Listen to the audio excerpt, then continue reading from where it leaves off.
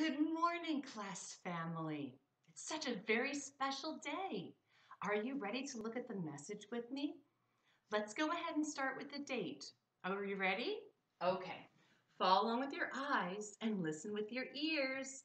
Remember, you're going to use your finger to point under the words. Ready? Show me that you are a class family. October 28th, 2020. Dear class family, today is Wednesday. We will learn a lot at school. We will go to art class. We will have a great day. Love Miss Joyner. All right. Did you see where the date was up here? Can you say it with me one more time? Let's read it together. October 28th, 2020. And boys and girls, it's a very special day. Can I tell you a secret? Today is my mom's birthday. And guess what? She's 75 years old. Isn't that amazing? So happy birthday to my mom, Dr. Joyner. Yay! Happy birthday. Let's go ahead and look back at the message. Do you know what day today is for my mom's birthday? Hmm, let's look at the first sentence. Today is Wednesday. It is Wednesday. And today is a special day. Do you remember where we're going for specials? Which class will we go to? Hmm. Let's look back at this sentence. Do you see this sentence here? We will go to art class.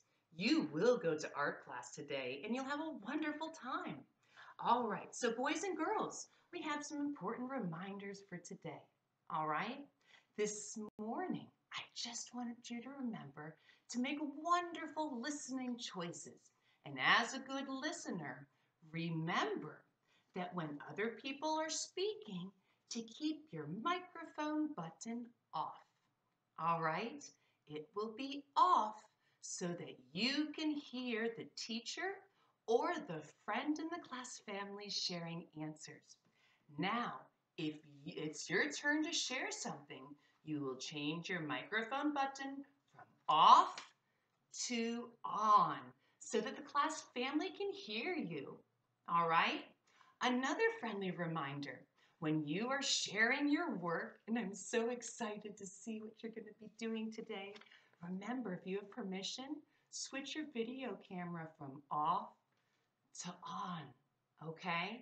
And when I work with you individually in a breakout group in group one, we are going to be having our video camera on and our microphone on, okay?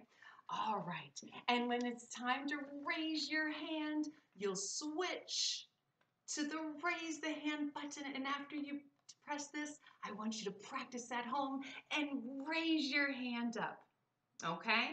All right, so in a few moments, boys and girls, we're gonna be reading this special story, and it's called Ish. All right, we're gonna be reading Ish, and we are going to be noticing something about the character in the story. Later today, you'll finish your iReady reading diagnostic if you didn't get it done yet. And we'll be doing some more with putting numbers in order during math. Let's have a wonderful day. It's fantastic. Do you remember fantastic? Fantastic.